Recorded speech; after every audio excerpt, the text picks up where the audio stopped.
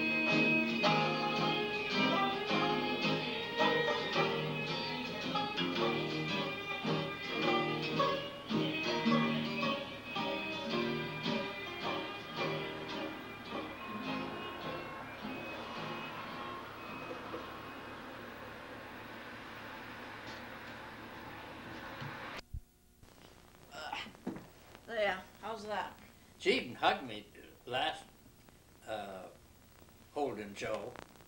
She hugged you. Yeah. Maybe she will this year, who knows? Well, I don't know. Depends if you behave or not. So you, you've got once a year hugs from Reverend Dakota. Well, we hope that maybe it'll be s- annual affair. So tell me again, where were you born?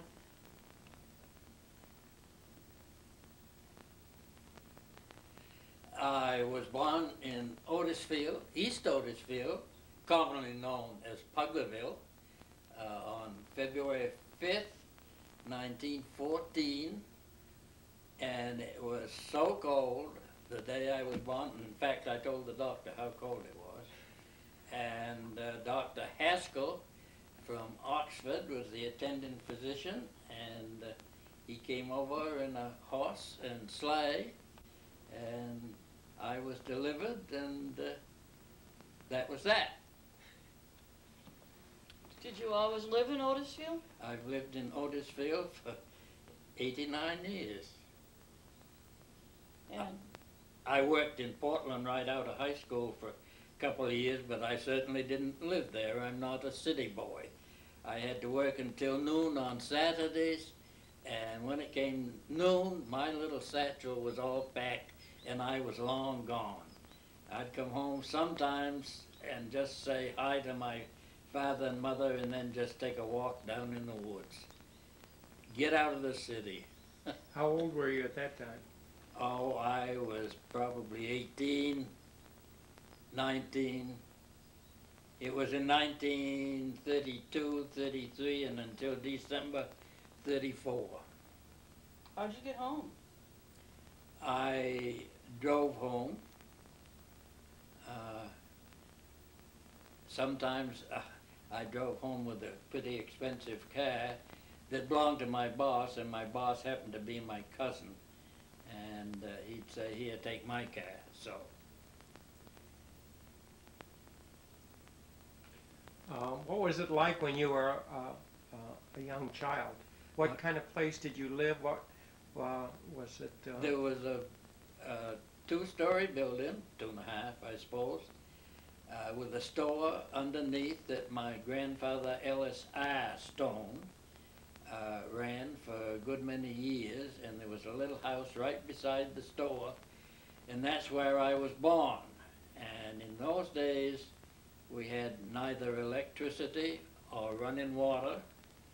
If, i we didn't have a refrigerator, we didn't have a modern refrigerator, electric, of course. We had an ice box. And my father and I would go down on the lake and cut ice, haul it up, and put it in a ice house with an old horse and, and sleigh, or not sleigh, a sled. And then we'd go to a mill and get a load of sawdust and pack the ice in it. In the summer, we took a cake of ice out, took a pail of water and washed it all off and put it in the refrigerator. And my mother uh, set milk in a pan in the cellar way so the cream would rise and then she'd skim it off and we'd make our own butter.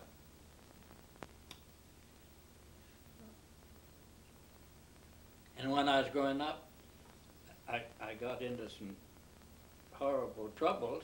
I bet. Uh, Dad and Mother decided they were going somewhere one day and told Phil and, and me to behave ourselves, and we said we would. But there was a mill pond, it was in the spring, and it was full of logs, pine logs, and there was great gobs of pine pitch on the ends of them.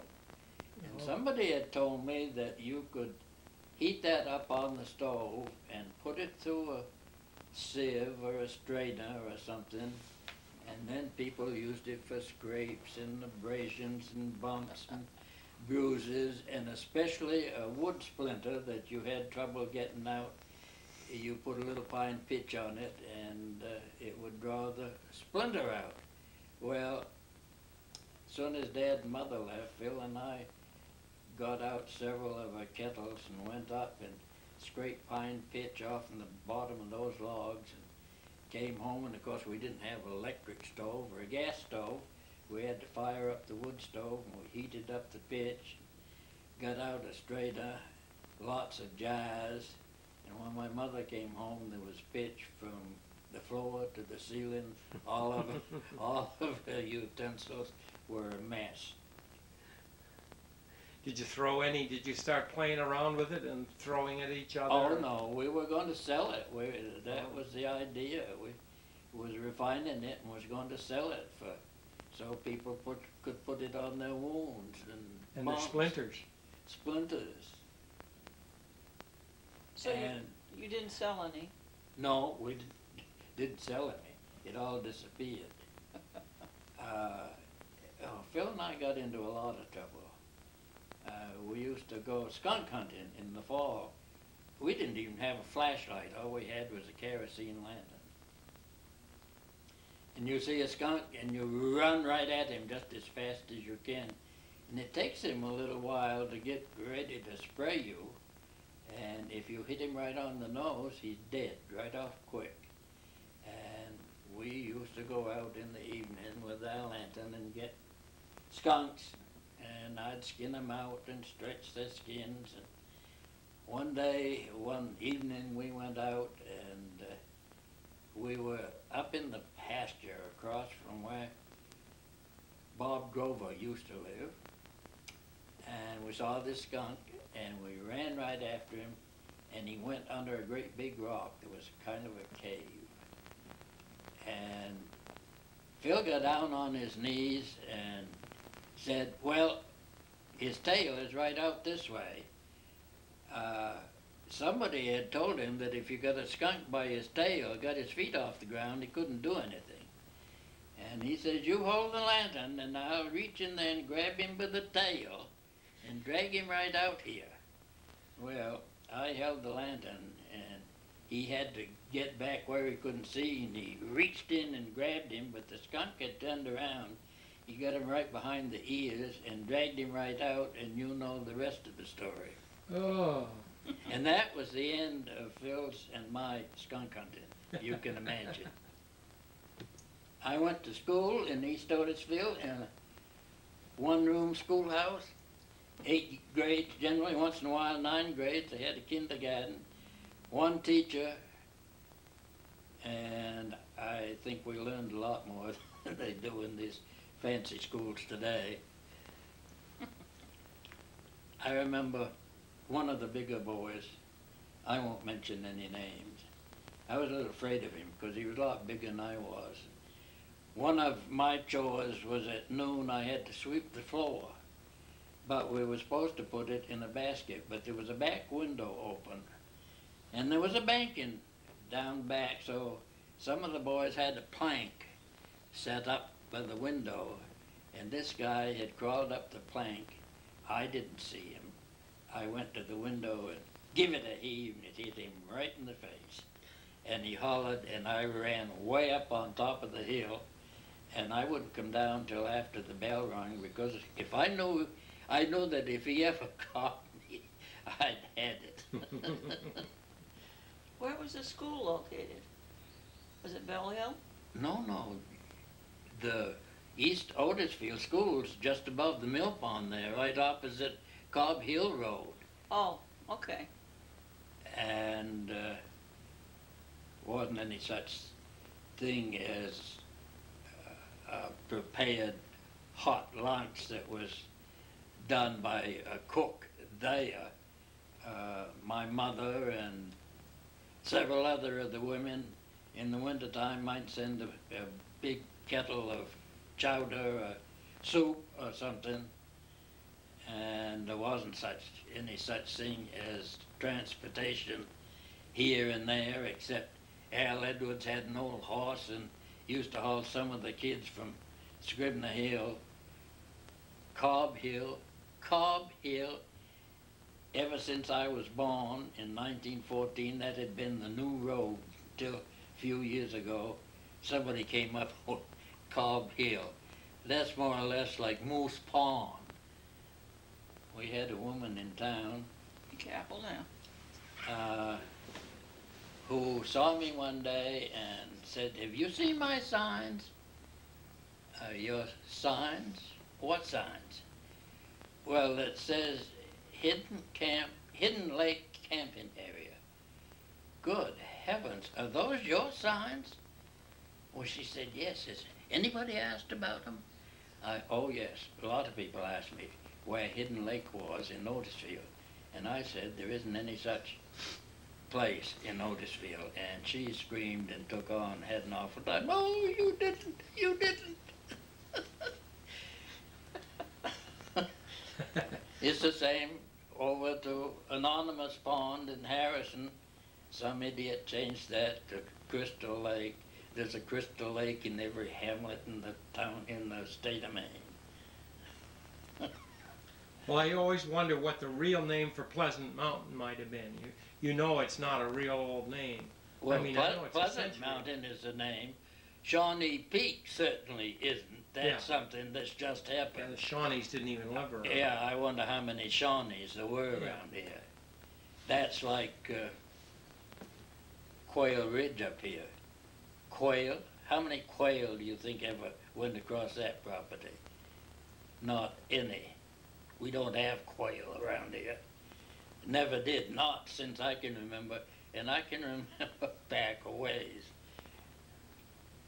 When you talk about Hidden Lake, I think you may be talking about an old friend of mine, Shirley Thomas.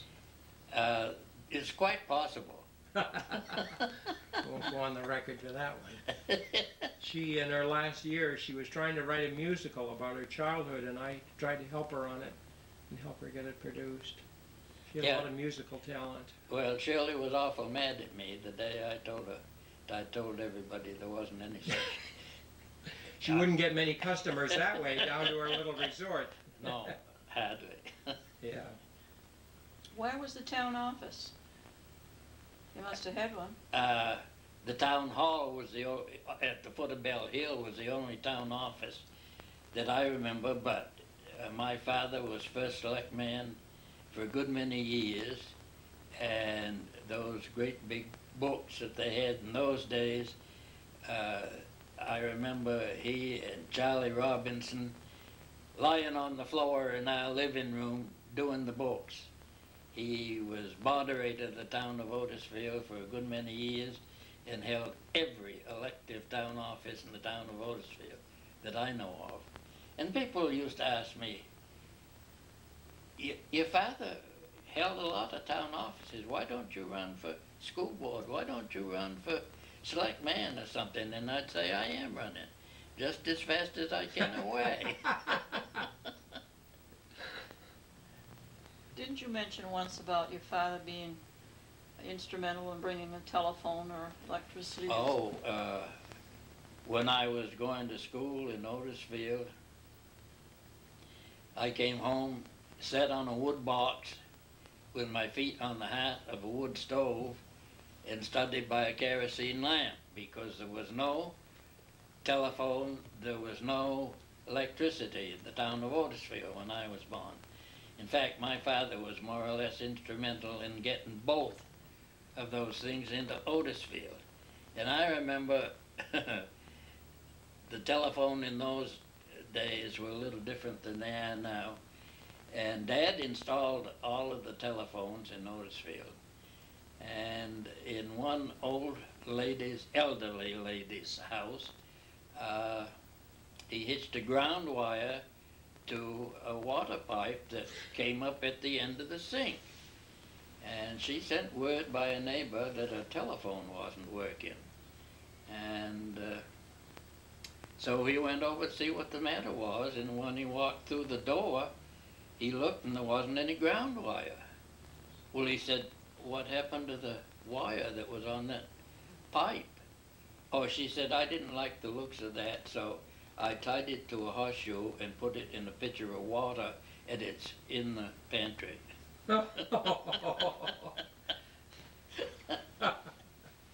Uh, I remember also that the winters used to start earlier than they do now and were a lot colder. And one Thanksgiving evening, Bob Baker, who lived down the backside of Scribner Hill,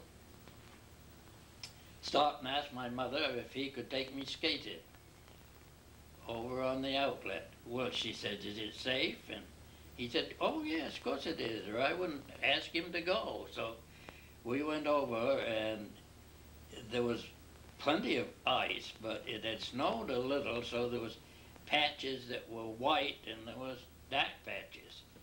And the moon hadn't come up yet, and we were skating around. And at that time, there was some big stumps over there, and with the water movement, there was an area around one of them, 10 feet seems so, that was all open water.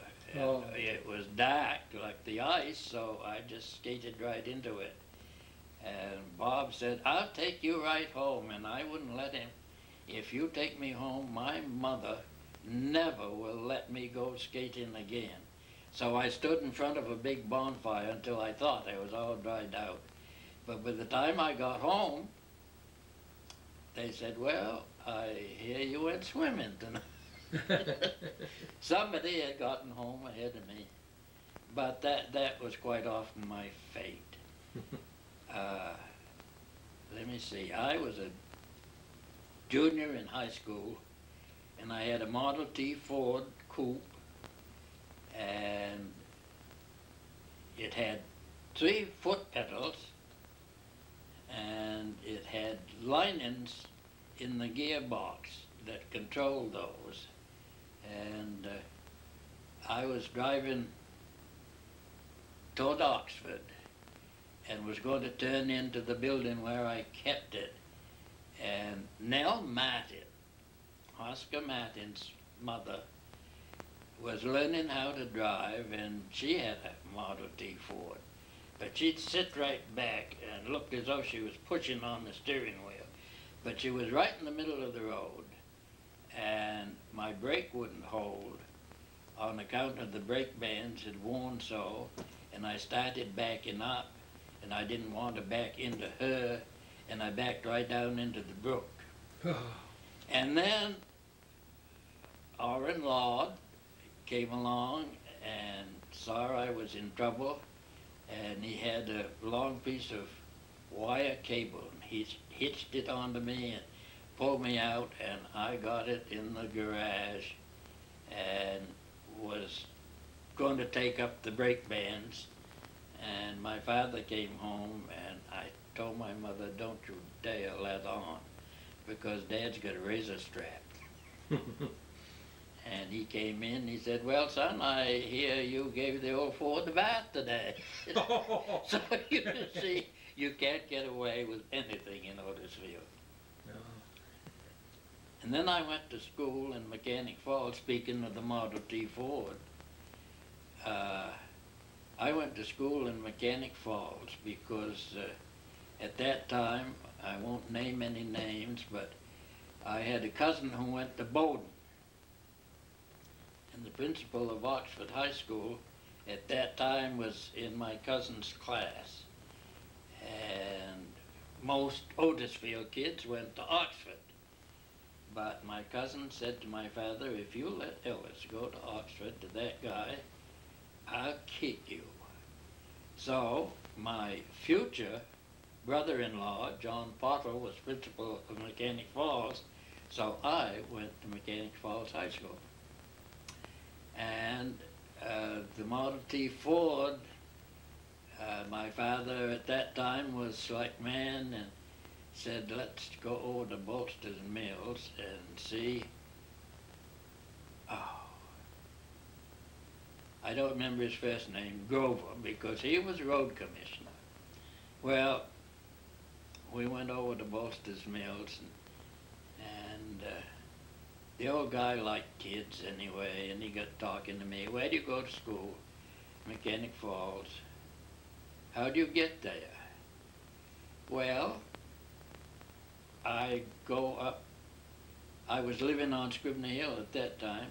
I go from Scribner Hill and walk to Oxford Station and take the train, which in those days was a steam locomotive. I don't know, that must be six, seven miles. I take the train to Mechanic Falls and I stayed down there, boarded down there during the week, and then sometimes my dad would send somebody down after me. Well, Grover said, you, you ought to have an automobile. Well, I said, I know that. Well, why don't you have an automobile? Well, I said, I can't afford an automobile. Well, how do you know you can't afford an automobile? I said, because I don't have money enough to buy an automobile. You must be crazy. He said, no. He said, I've got one I'd sell cheap. Well, I said, it would have to be cheap. well, he said, why don't you make me an offer? And I said, uh, I'll tell you, I, I, I can't, I can't afford to buy it. And he said, all right, I'll tell you, I'll take fifteen dollars for it. Oh, well, I told you I couldn't afford an automobile. and he said, how much money you got with you? And I pulled out my pocketbook, and it's still a pocketbook. It's not a, anything else. And took my money out, and I had nine dollars. And he said, sold. so I drove that automobile to Mechanic Falls High School, at least and back, once a day, sometimes twice, and I guess once or twice, three times a day, until the last day of school we went on a picnic and I met a guy on a sandy road and he didn't give me room and I went out in the bushes and that was the end of that Model T Ford. Did you get hurt too? No, no, I'm too tough to get hurt. So where did you meet Estelle? At Mechanic Falls High School? Uh, when I was living in Puglerville, I was Puglerville, now where's Puglerville? East Otisfield, Puglerville, right down below here. Uh, I probably was, oh, I don't know, five, six, seven years old. And Stell, my wife, was seven years older than I was, and she had a horse. And she'd come down to my grandfather's store, and she wouldn't let me up behind her on uh, behind the saddle. But I'd stand and hang on to the stirrup and walk way up here and spend the afternoon with her and then turn around and walk home. So I suppose you can say that's uh, when Stell and I started going together. Of course, after I went to high school and she went to college, we both had girlfriends and boyfriends. But we finally got back together and had a good long life together and raised three children. Your father owned the store? My grandfather owned the store. But I used to go in the store. I was just a little kid and I would put my hand on a counter and on a shelf behind it and swing. And he said, Ellis, stop that. You're going to get hurt. And of course I didn't stop. And of course I did get hurt. I fell and put my thumb out of joint and it all swelled up. And I went upstairs crying to my grandmother and she put iodine on it and then wrapped it up and it blistered. Those were the good old days. Matt and Wiley and I grew up together and his folks had a piece of corn over across the field and Matt and I took our sickles after the corn had been picked for the corn chop. We had a corn chop in Otisfield and one in Oxford in those days and everybody planted corn for the corn chop. And uh, we cut all the corn fodder and was on our way home and right out in the middle of the field there was a goldenrod stalk and kids that we were, we both reached for it with our sickles at the same time, but he beat me and cut the end of my finger and all there was was oh, about a quarter of an inch of skin and flesh hanging there. I went home and took hold of the end of it and said, look man, the bone stuck out and she passed out. they called the doctor and he came over and he got out a pair of shears, scissors, whatever you want to call them. And my mother grabbed him. What are you going to do? He said, there isn't going to be blood enough in the end of that finger. I'm going to finish cutting it off. She said, oh, no, you aren't. Well, he said, it's not going to do any good to put it back on there because it, it won't heal. It, it'll die. There isn't blood enough. Yeah, well, you got to try. There it is. I still got it, and I can bend the joint. Thank heavens for mothers, huh? Yeah. You said good old days. What was good about it? Well, that's what I wonder sometimes. But we didn't have the troubles, and we didn't have the drugs, we didn't have the crime. We used to go out slide in on bobsleds, slide down from up where Scribner Hill comes down to 121. We'd go up there and slide way down to Bert Jolson's, which is this side of Puglerville, and didn't have to worry about automobiles because there weren't any. I do remember one cold night, uh, I had a big crowd on the sled, and it was cold. I imagine it's below zero, but kids in those days, they didn't mind that. And we took the bobsled, but we got everybody crammed on it and broke a runner. I was sure I could wire it on somehow, and I found a piece of telephone wire. I didn't have any pliers or anything to cut it with, but I knew if I pounded it with a hammer, I could break it off, so I took it in the house and laid it on the edge of my mother's cast iron sink oh, and took the hammer, laid the wire on it, took the hammer, hit it once and the sink went Oh. So we didn't do any more sliding that night, I'll tell you.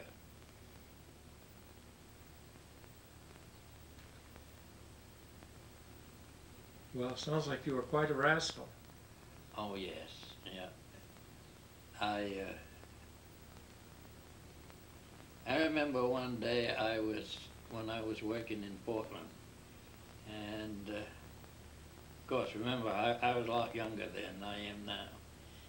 And the boss had a very nice looking wife. And uh, he said, uh, take my car, Ellis, and take Madge home. I said, okay. as I said, she was nice looking, and uh, I was driving Congress Street toward Munjoy Hill, and of course I had to turn around while I was talking to her and look at her. And I turned around, and traffic was stopped in front of me, and I slammed on the brake, and I slammed into the car right ahead of me, and he into the next one. And the car ahead of me, this great big strapping man got out of the car and came back, and I was getting smaller and smaller and smaller and sliding down farther in my seat.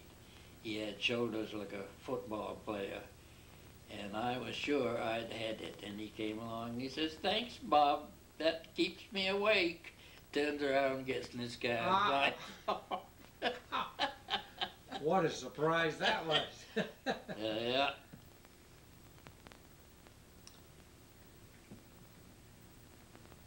And you were a what, boss at uh, Robinson's? Oh, I went to Uh, work at the Robinson Manufacturing Company. I worked there for a few years, forty to be exact.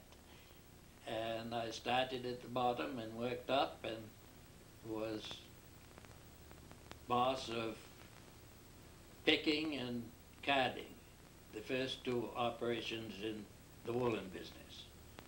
And now, I'm very sorry to say, the poor old woolen mill in another couple of months will be all done Where is that located? in Oxford Village. Oh, I've, I've seen. Robinson Manufacturing Company. And they're going out of business because, uh, well, they paid very good wages for this area and people over across the puddle that will work for fifty cents an hour and make cloth like we were making and send it over here and sell it for half what we could make it for. It just puts them out of business. Mm. No, I asked uh, Howard if he knew Bill Spurr. Did you know Bill Spurr? I Who knew- wrote the history? I knew Bill Spurr very well. And I knew his mother, Lydia. And uh, my brother-in-law and I used to line bees. Most young folks today wouldn't have a clue what that means.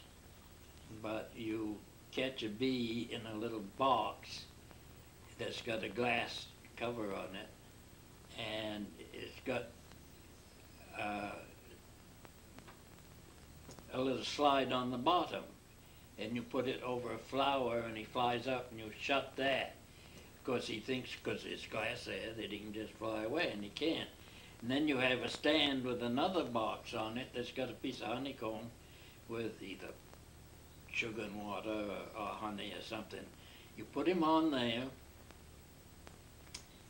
and pull the thing out that's underneath him and he goes down and fills himself up full of honey. You just take the top box off and invariably when he comes out he flies around and around and around and then as they say he takes off in a bee line. And they say that they always do that. They never fail. Well, I proved that is hogwash. I proved beyond the possibility of a doubt that bees don't always go in a bee line because my brother-in-law and I were down to our camp on Lake Thompson, a little piece of land that jets out there a little ways, and it had some bamboo on it, and the bees love that when it's blossomed. We caught one and we put it on a little stand, and when he took off, he went straight down the lake, down to East Point. There's another point down below that comes out. So after they've gone back and forth, they bring others with them. You catch some in the box, and then you walk down to that point down there and set it up again, and you time the bees. You mark one of them with a little piece of chalk, and you can tell how long he's gone. And then you can keep doing that until you can find where the tree is. And then you cut the tree down and take the honey and put the bees in the hive and so on. But this day, that little bee came off and he went right straight down across the water. And he came back with a number of other bees, and we'd take them in our box and go way down right in line where he went across the water, and we couldn't get a bee back. Uh, we thought that was mighty strange. We did that two Sundays, but the third day I said something wrong here. I got to find out what it is. Those bees aren't getting way down there. Well, John says that they don't have a hive down in the water. No. And I said, no. So I took a boat and I went out. Now I said, you catch a bee and let him go. And he did, and the bee came off and he circled around and around. He went down a little ways, made a right angle turn, and the bees were in the tree within 15 feet of the shore of the lake. Uh, Uh,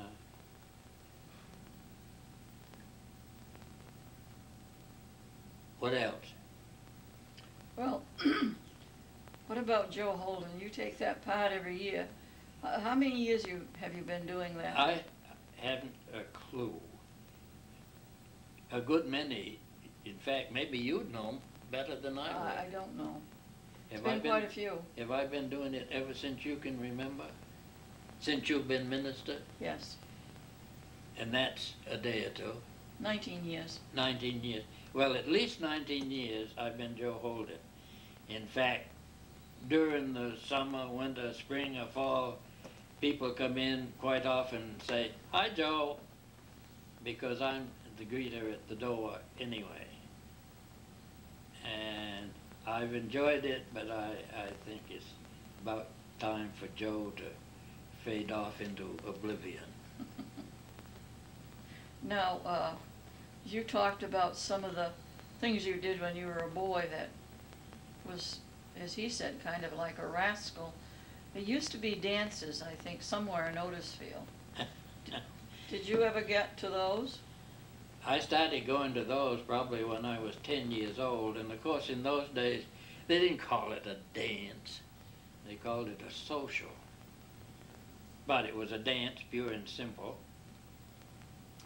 And in fact, the part of that building down there, the community hall, that they used to call Jolly Time, my father built as a garage. Uh, right beside it, where that culvert goes through. In fact, I, I have a sky to show it. Uh, while they was building it, they threw stuff in there to fill it up, and there was just a plank from the road to the garage, and I was all dolled up going to a social, a dance, and uh, he said, Ellis, stop your running, you're going to get hurt. But there again, I didn't stop. I fell in cut my hand from there to there. And Doctor, I forget the name, and I said something about it just the other day, but was coming from from Portland to stay with Arthur Lowe, who was principal of Portland High School and lived on Scribner Hill. And he was going by, and uh, my father nailed him, and he came and patched me up, and there it is. And there was a man in town who was, uh, well, to put it polite, uh, a religious freak. And uh, he had he had a wooden leg. And when I say wooden leg, I mean he had a wooden leg. He didn't have a peg leg. He had a wooden leg. And people hired him to hold corn and so on. But he used to come down when they were building that garage and come in and they got awful sick of it. So one day one of the boys said, you know, Frank, they had a dance in this building last night. They did.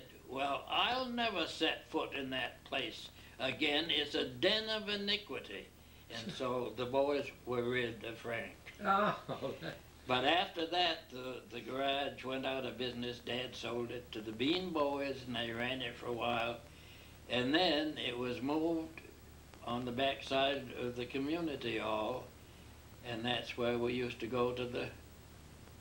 Well, in those days, they did call them dances. Uh, and I've danced more miles with more girls there. The Hartwell girls that uh, when they first came and built a camp on Lake Thompson, my father met their folks at the Oxford station with a horse and wagon and brought them over. And they had several girls and they used to come to the dances and we just danced. Had a good time. Had a great time. In fact, I hear about it quite often when some of the families around. Mhm. What was the music like in those days? The music was uh, pretty good. It was Harley True from Norway. Do you know Harley True? No. Myron Gilman from Norway, who played the piano. Uh, I don't remember all the other names, but it was pretty good. And we did a lot of square dancing. And I don't mean square dance, we call them square dances, but not like they do today. They were contra dances, I suppose.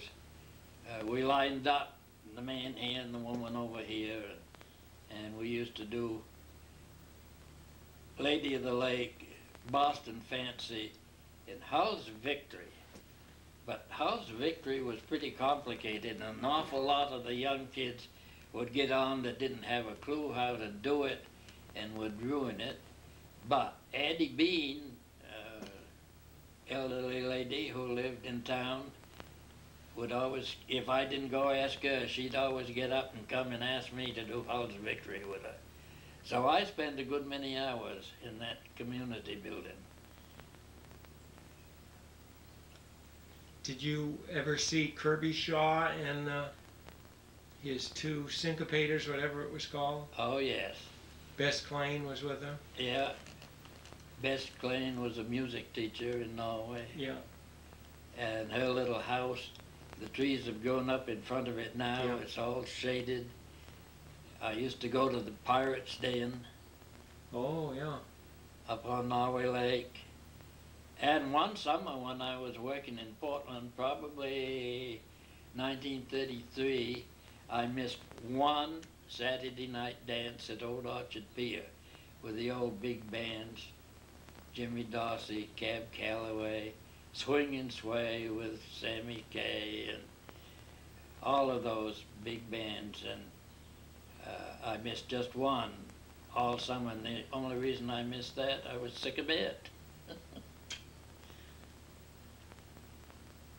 Did you ever hear any of the old time uh, fiddling and, and Like Mellie Dunham? like Mellie did? Like Mellie Dunham, oh yes. Yep. And Nate Noble and uh, Roy White for the Nate, bass. Nate Noble, uh, I can't remember who, whose father, He's father of Lona Bedard. yeah, but what about Bert Noble? Oh, don't know. Well, he was a young fellow that went to work for me in the mill. And uh, then he got married and had a little boy and lived on Crockett Ridge. And uh, after he got done at the mill, and I hadn't seen much of him, uh, he went snowmobiling on North Pond, North Pond, and went through the ice and was drowned. Oh, too bad. My kids went, well, my oldest daughter went two years to Mattanawcook Academy in Lincoln, Maine, because we had relatives there and they wanted her to come up and stay with them, and she did two years, but then she came down and my other two children, they drove back and forth in an old Chevrolet pickup truck that I bought for a little uh, or nothing to Casco. So they all went to Casco High School. Uh, friend of mine who lived in Spurrs Corner went to Casco, and I went to Mechanic Falls, but Saturday nights we'd get together and go to Martin's Pavilion in Naples because uh, his father played in the orchestra at that time. And he had two awful nice looking sisters and they were awful nice dancers. So I never missed many of those dances either. Guess not. What about, what about rock and roll? You didn't have rock and roll. Oh, we did, we rolled and rocked quite a lot. Oh, yeah. yeah. Of course, I didn't quit until I was getting old and pretty decrepit, so. And in fact, I, I, oh, what, no later than two or three years ago, I had a little bout of dancing, but I tuck it out pretty quickly, so I've called it quits. What do you miss about those old days? When you think about it, what do you wish you could have again? Well, the camaraderie within the people of Otisfield was much different than it is now. Otisfield has become a, a bedroom town. There's no industry in the town of Otisfield. Everybody gets up early in the morning, jumps in their automobile and goes work somewhere else. Comes back and goes to bed in Otisfield, gets up in the morning and goes to work. So there isn't the camaraderie, you know, the visiting back and forth and uh, and people live so fast today. It's it's the same here. My daughter and I'll go somewhere and I'll say I I would like to stop and see so and so. Well, we don't have time. Yeah. I, I thought when I retired I could do anything I wanted to.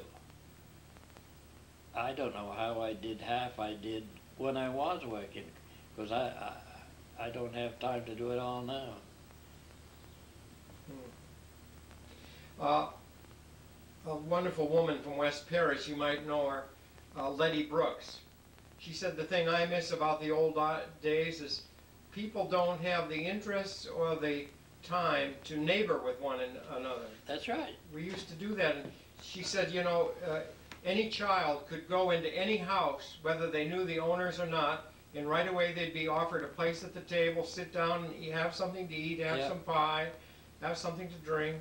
Or if they came in in the morning, uh, somebody'd say, just a minute and I'll get the coffee going. They'd put on the coffee pot and have donuts whatever was handy.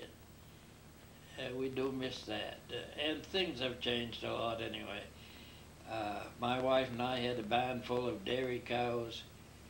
We started with one cow and worked up and when we first got married we were making butter and selling it until we were making so much butter we couldn't take care of it. And then we started selling milk.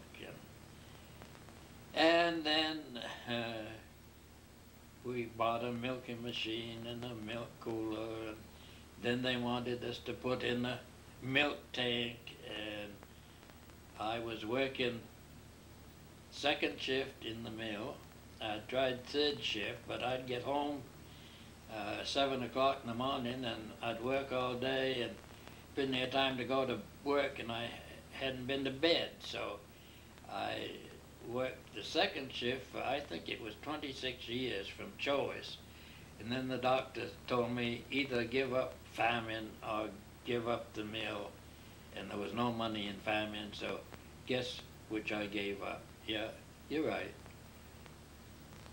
Do you miss the uh, livestock, the animals, the cows? Well, my son-in-law just bought two Percheron uh, geldings that are only two years old. He wanted to train them himself.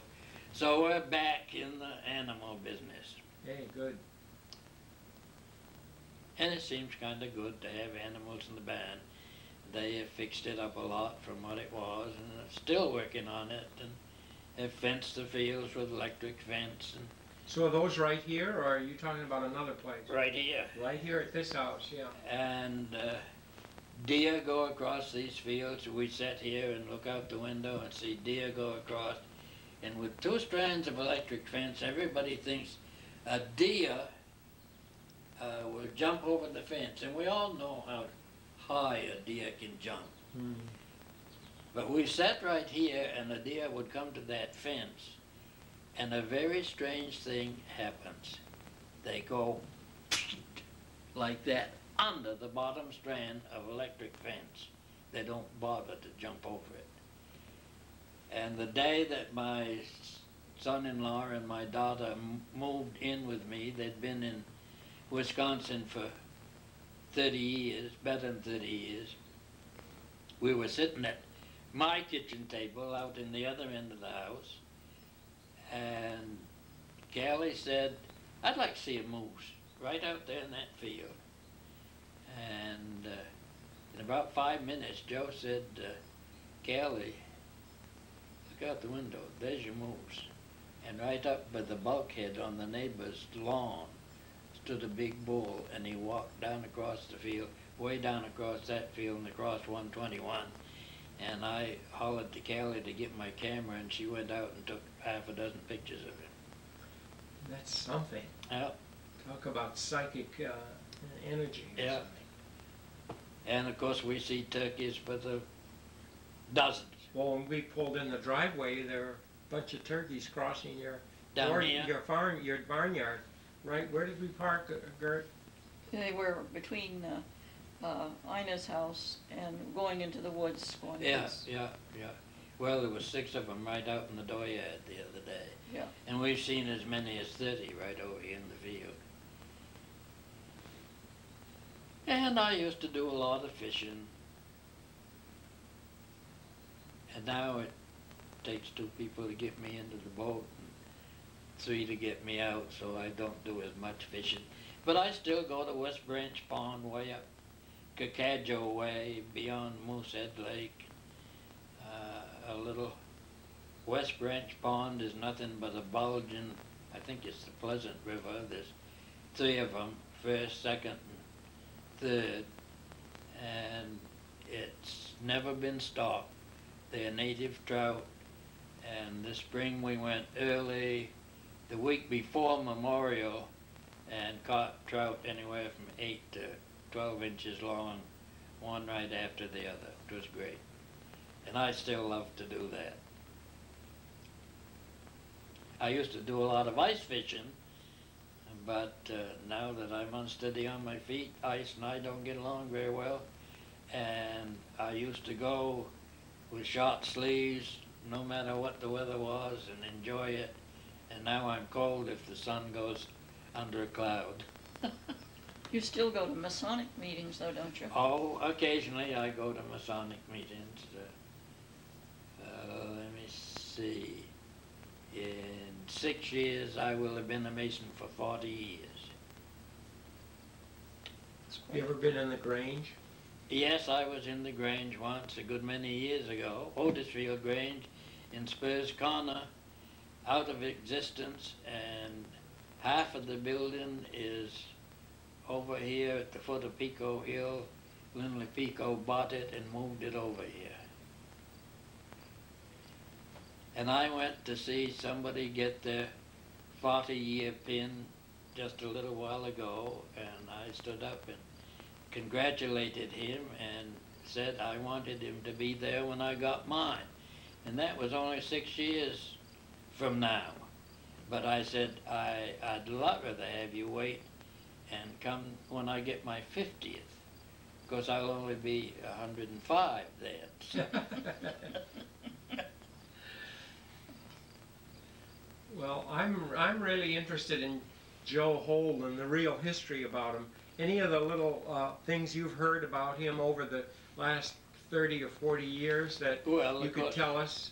of course, the, the story about is proven beyond any possibility of a doubt that the Earth is flat and stationary. and The sun and moon do move. They're the ones that move.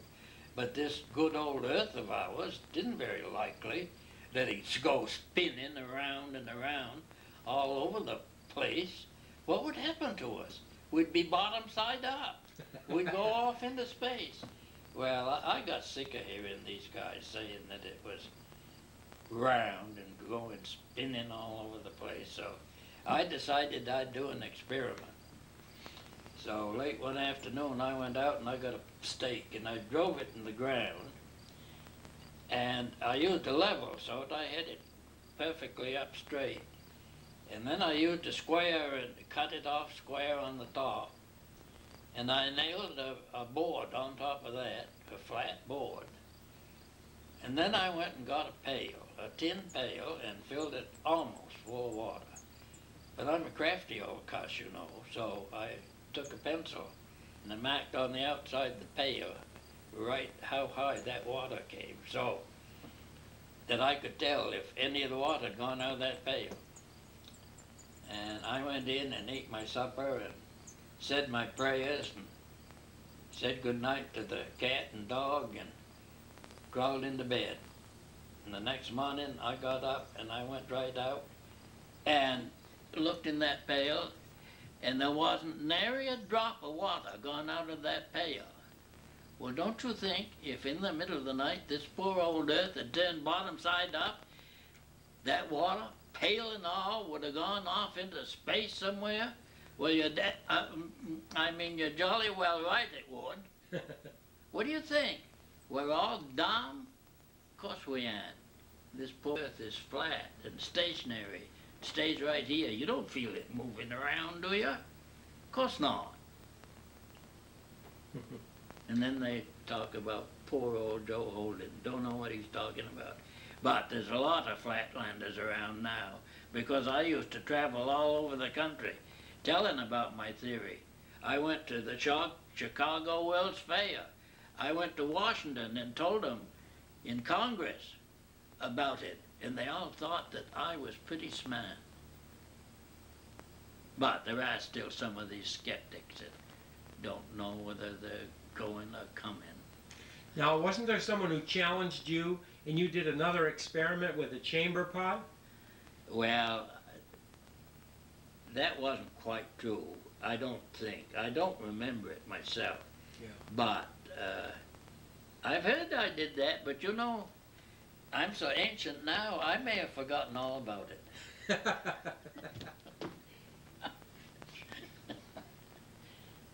Well, you play the part well, Ellis. I do. I, I do forget things. I'm sorry to say, but my memory ain't what it used to be. My eyesight, eyesight isn't what it used to be. But I, I still have a good time. Still keep going. I bet you'd like to go back to some of those contra dances Oh, yes. Yes. with those pretty young gals and all the music and the old time music. Oh, yes. We had an awful lot of fun. We even used to have a fair in Otisfield. Really? Oh, yes. They, uh, down by the community hall, my mother and Eddie Bean, I guess, had a booth where they sold hot dogs and stuff. And they always had fireworks, and that is what ended the, the fair because at one of the fireworks, uh, a skyrocket got loose and hit a girl right over the head, and she died. And that was the end of the fairs in Otisfield. How long ago was that? Oh, a long, long time ago. I can't remember. As I say, my memory isn't very good. That's really sad. Yeah. But I Did thought, she have? Did they say she she had had uh, heart problems before that? No, no, no. With just the, the thrust of being Yeah. hit. Yeah. Yeah. But Matt and Wiley lived right across the road from where I did. We grew up together. I went to high school, and his father told him that if he didn't go to high school, stayed home with him and farmed, he'd buy him a brand new Model A Ford. And he did. And I think it was less than a thousand dollars.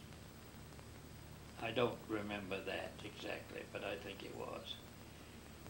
And Martin and I had lots of childhood experiences. There was a cooper shop. Most people wouldn't even know what a cooper shop is today. But it's where they made barrel, barrel staves and they had to steam them in order to shape them, bend them. And there was a cupola up on top that was wide open except it had louvers in it to let the steam out. I was still in grade school and Martin was too because we was in the same grade. We were coming home and we heard this racket and the cooper shop was right across from the mill pond so we went around and there was a partridge and it was in the fall of course because we was going to school. And I didn't have a gun at that time, and Martin says, I'll go home and get my father's. And he went home and got a shotgun, but he didn't dare shoot it. So I shot the partridge up in the cupola. so that was the first partridge I ever shot. The second partridge I ever shot, I, uh, I wasn't quite as proud of doing that, but I wanted a gun, and my father we weren't rich and he wanted about to buy me an expensive gun, but somebody owed him some money. And they wanted to pay him, but they couldn't, and they came one day and said, I've got this 22, you've got a Bowie growing up here. Why don't I give you the 22 with part payment? Well, Dad says, yes, he wants a gun, all right. So they made a deal, but the 22 barrel was leaded up so that I think the bullets came out and went like this. Oh. And I had a brown spaniel, and uh, of course I was still in grade school, and I got home from school and went up in the pasture where there was some old apple trees. And the dog put a partridge up and he lit in an apple tree. And today, uh, you flush a partridge and she flies out of the country. But in those days, that bird flew up in the apple tree and sat there, and I shot seven times at her with a 22 rifle. And as I say, you never knew where the bullet was going to go, but the last one hit in the wing, and she came down on the ground and ran around, got snarled up in some brush, and I killed her with a club. And I thought that I had accomplished something. Something great, seven shots, hit her in the wing. Yeah. Oh dear. I think you were better off catching skunks. well, I'll tell you, catch, catching partridges that you shot the wing was less smelly than catching skunks. I guess. Did you know any of the Finnish people in this area? I talked to a Oh, woman named. Gino, and she went to the, something like a Swampville. Swampville. Swampville She lived School. over there, yeah. Yeah. What was her name? Vienna, and I can't, she married a Falk, so we all know her as Vienna Falk. But her uh, Finnish name, it, I think it was Korhonen or Mikanen, Coronan, probably. Korhonen, I There were think. some Coronans in town. Yeah, There was Dickenens in town, and Wallows in town, and Johnsons in she town. said that she and her pretty sisters, when they were young girls, they'd go out to take the sauna, and one time they were going along, there was about thirty feet out to the sauna house. And one time they were going out and their father noticed there was a whole bunch of boys that hid their bicycles down in the grass and they were trying to get a good look. Yeah. So he built a hedge and from then on, his daughters had privacy. Well, I, I've been in a Finnish sauna years ago. A boy that worked for me in the mill, his family had a sauna. Chicolas did, didn't they? Yeah, this was uh, Oni Rasima. Did you know the Rasimas in Norway? I've only been there since seventy-nine. Oh, yeah. Well, I, I worked a couple of years in uh, the shoe shop in Norway. I also worked for Gladys Applin, who ran a restaurant in Norway. I was going with my wife. She was away teaching school. No, I guess she was still in college. And they put in a cooler cake system and sold beer. And you had a long rod with a faucet on the end of it. And you unscrewed this, this uh, screw on the top and took the rod and slammed it down through. but then you had to tighten up this wing nut. Well, they had showed me how to do it, and along came a night when there was nobody there, and one keg ran out, so I got another one, and uh, I did an awful good job. I got the rod and got it down through, but I forgot, and I didn't tighten up that wing nut before I let go of the rod, and the rod went up and poked a heel, hole in the ceiling and wet everybody in the restaurant down with beer. And about that time, my wife to be walked in, and she wasn't didn't approve of people drinking beer. Yeah, boy, that's quite a story. That was quite a thing. Well, I guess you have really had a interesting life, oh yes, and still very interesting. yeah. What's the, what do you like to do the most these days? Well, I can't do much these days. My chief occupation these days, uh, when it doesn't rain, is mowing this dooryard. I have a riding lawnmower, of course, but it only takes me four or five hours because we mow the front lawn, the back lawn, the side lawn, and half of the fields. And I do do some cooking. My wife had Alzheimer's for a good many years, and if I wanted to eat and nobody can say I didn't eat, uh, I had to cook. So, if my daughter is real busy, sometimes I do some cooking. Uh, if the latest sewing circle or the, uh, the scholarship fund is having a sale, sometimes I make three loaves of bread, a batch of biscuits, a, a bowl for them. I can't read much because I have to use a reading glass.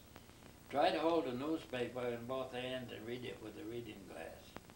It's a lot of fun. Maybe you could get some kind of a rack to lean it on. Oh, they have things, but they want about twenty-five hundred dollars for Oh, it. yeah.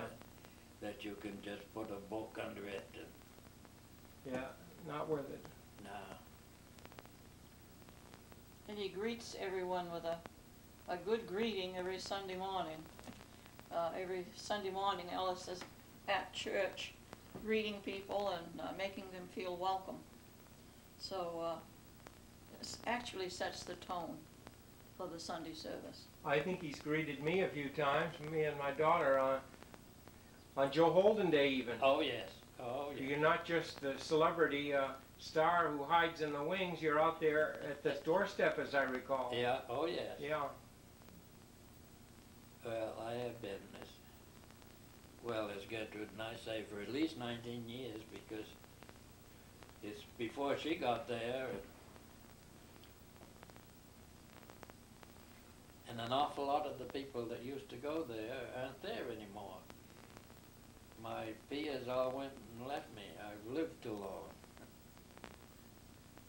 I have a dear friend who I guess is not coming so much anymore. Do you know?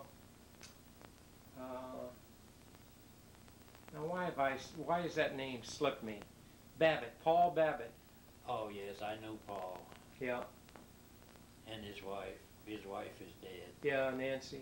yeah. Yeah, they were friends of mine. A wonderful man. So was Nancy. Yeah. Wonderful woman. Yeah. But But, life uh, goes on. Guy Tucker. His wife worked down at Camp, owned Camp Weevo for a while. I remember way back when Camp Weevo first started, uh, my grandfather was running the store and of course, oh, nineteen twenties or so, people thought a little different than they do today. And those girls all wore midi blouses and bloomers. And the bloomers, of course, came just below their knees and they were showing their legs. And they walked, would come up in canoes to Puglerville, which all call it Puglerville Cove, East Otisfield Cove, in canoes and get out and come up to the store and come in to buy candy or ice cream or something. And my grandfather thought that was hideous to see those girls showing their legs like that. What's this world coming to? Isn't it all relative, huh? Uh, very relative. and now we're down to the days of bikini bathing suits. Uh, Yeah. Uh, some of them, I, I don't know, I've, I've had handkerchief a lot bigger than that bathing suit. Yeah. Yeah, it's funny. I guess there was a time they almost wore a completely covered at the beach. I've seen the old artworks of Winslow Oh, Homer, yes, I remember. all covered up. Well, I, I shocked everybody, uh, years ago when I went swimming with a pair of trunks and no top on. Oh, really? My first one that I remember that I had without a top did have a top with a zipper that I could take it off if I wanted to. But I, it was pretty risque when I showed up with, with just a pair of shorts on. Yeah, Hard to don't believe. know what it? ails that boy anyway. He probably never amount to anything. He has to be such a big show off. Well, I, I was always a show off. Martin Wiley and I, as I've told you before, grew up together and he had some, I don't know, I guess they were cousins from Bangor. And they'd started building a, a fence around Martin's dooryard, but they hadn't got any of the railings up, just a fence post. And these people always came down Memorial Day. And they had an awfully nice looking daughter, about my age and uh, I lived right across the road. And of course, when I saw their car drive in, I rushed right over there, and uh, I wanted to show my prowess, and I climbed up on top of one of those fence stakes and sat there talking to the girls. And then they started moving off, and I decided to jump down. Well, I did. The only trouble, I left the whole seat of my pants on the fence post. Oh. And then I, I didn't want to turn around and back over to my house. So what do I do? Back over or put my hands over my bottom and run? What did you do? A little of both, if I uh, that's Well, I think I've told you Okay, well, that's, too much already. I'm Thank- beginning to think so. thank you very much. It'll only go downhill from here, won't it? Yeah. We're Uh, getting- well, with Gertrude here, I, I've been kind of cautious what I told her anyway. Oh, yeah. Thank heavens. Well, it's, it's clean enough for television, too. oh, yes. well, today, how clean does it have to be? Not at all. Ah. Did you get that in there? Yeah. Well, thanks very much. You're very welcome. Good day, sir.